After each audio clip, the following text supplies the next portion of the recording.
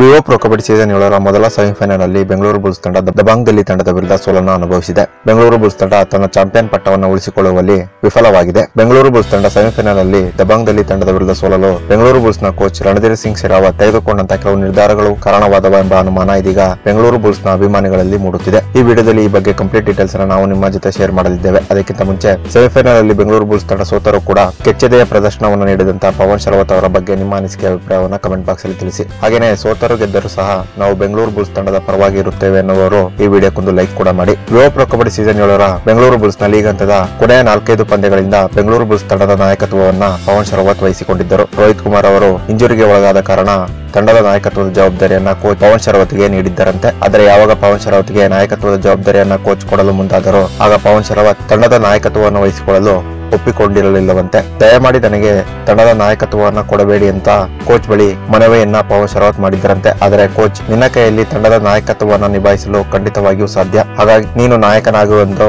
ಪ್ರೋತ್ಸಾಹ ಕೊಟ್ಟಿದ್ದರಂತೆ. ಇನ್ನು ಪವನ್ ಶರವತ್ ತಮಗೆ ಸಿಕ್ಕಂತಹ ನಾಯಕತ್ವದ ಜವಾಬ್ದಾರಿಯನ್ನ ತಕ್ಕ ಮಟ್ಟಿಗೆ ಯಶಸ್ವಿಯಾಗಿ ನಿರ್ವಹಿಸಿದರು. ಎಲಿಮಿನೇಟರ್ ಪಂದ್ಯದಲ್ಲೂ ಕೂಡ ಪವನ್ ಶರವತ್ತೆ ತಂಡದ ನಾಯಕತ್ವವನ್ನು ವಹಿಸಿದ್ದರು. ಆದರೆ ಎಲಿಮಿನೇಟರ್ ಪಂದ್ಯದಲ್ಲಿ ಬೆಂಗಳೂರು ಬುಲ್ಸ್ ತಂಡ ಅಷ್ಟೊಂದು ಉತ್ತಮವಾಗಿ ಆರಂಭ ಮಾಡಿರಲಿಲ್ಲ. ಆದರೆ ಯಾವಾಗ ಸಬ್ಸ್ಟಿಟ್ಯೂಟ್ ಪ್ಲೇಯರ್ ಆಗಿದ್ದಂತ ರೋಹಿತ್ ಕುಮಾರ್ ತಂಡದ ಒಳಗೆ ಬಂದರೋ ಆಗಲೇ ತಂಡ ಉತ್ತಮ ರೀತಿಯಲ್ಲಿ ಆಡಲು ಪ್ರಾರಂಭ ಮಾಡಿ ಯುಪಿಒದ ತಂಡದ ಎದುರು ಎಲಿಮಿನೇಟರ್ ಪಂದ್ಯವನ್ನ ಗೆದ್ದುಕೊಂಡಿತ್ತು. ಆದರೆ ಸೆಮಿಫೈನಲ್ ಅಲ್ಲೂ ಕೂಡ ಕೋಚ್ ಪವನ್ ಶರವತ್ಗೆ ತಂಡದ ನಾಯಕತ್ವ ಜವಾಬ್ದಾರಿಯನ್ನು ನೀಡಿದರು. ತಂಡದ ಸ್ಟಾರ್ಟಿಂಗ್ ಸೆವೆನ್ನಲ್ಲಿ ರೋಹಿತ್ ಕುಮಾರ್ ಇದ್ದರೂ ಕೂಡ ಕೋಚ್ ಯಾಕಾಗಿ ಪವನ್ ಶರವತ್ಗೆ ನಾಯಕತ್ವದ ಜವಾಬ್ದಾರಿಯನ್ನು ನೀಡಿದರು ಎಂದು ಯಾರಿಗೂ ಗೊತ್ತಾಗಲಿಲ್ಲ. ಸೆಮಿಫೈನಲ್ ಪಂದ್ಯದಲ್ಲಿ ಪವನ್ಗೆ ತಂಡದ ರೈಡಿಂಗ್ ಜವಾಬ್ದಾರಿಯ ಒತ್ತಡದ ಜೊತೆಗೆ ತಂಡದ ಕ್ಯಾಪ್ಟನ್ಸಿ ಒತ್ತಡವೂ ಕೂಡ ಸೇರಿತ್ತು. ಒಂದು ವೇಳೆ ಕೋಚ್ ಏನಾದರೂ ರೋಹಿತ್ ಕುಮಾರ್ಗೆ ತಂಡದ ನಾಯಕತ್ವವನ್ನು ಕೊಟ್ಟು ಪವನ್ ಶರವತ್ಗೆ ಕೇವಲ ರೈಡಿಂಗ್ನಲ್ಲಿ ಮಾತ್ರ ಗಮನ ಹರಿಸುವಂತೆ ಹೇಳಿದ್ದರೆ ಪವನ್ ಇನ್ನಷ್ಟು ಅದ್ಭುತವಾಗಿ ರೇಡಿಂಗ್ ಅನ್ನು ಮಾಡಿ ಏಕಾಂಗಿಯಾಗಿ ಸೆಮಿಫೈನಲ್ ಪಂದ್ಯದಲ್ಲಿ ಬೆಂಗಳೂರು ಬುಲ್ಸ್ಗೆ ಜಯವನ್ನ ತಂದುಕೊಡುತ್ತಿದ್ದರು ಎಂಬುದು ಬಹುತೇಕ ಬೆಂಗಳೂರು ಬುಲ್ಸ್ ತಂಡದ ಅಭಿಮಾನಿಗಳ ಅಭಿಪ್ರಾಯವಾಗಿದೆ. ಹೇಗಿದ್ದರೂ ರೋಹಿತ್ ಕುಮಾರ್ ಬೆಂಗಳೂರು ಬುಲ್ಸ್ಗೆ ಲಕ್ಕಿ ಕ್ಯಾಪ್ಟನ್ ಆಗಿದ್ದರು. ಅವರ ನಾಯಕತ್ವದ ಅಡಿಯಲ್ಲೇ ಬೆಂಗಳೂರು ಬುಲ್ಸ್ ತಂಡ ಸೀಸನ್ ಆರರಲ್ಲಿ ಚಾಂಪಿಯನ್ ಆಗಿತ್ತು.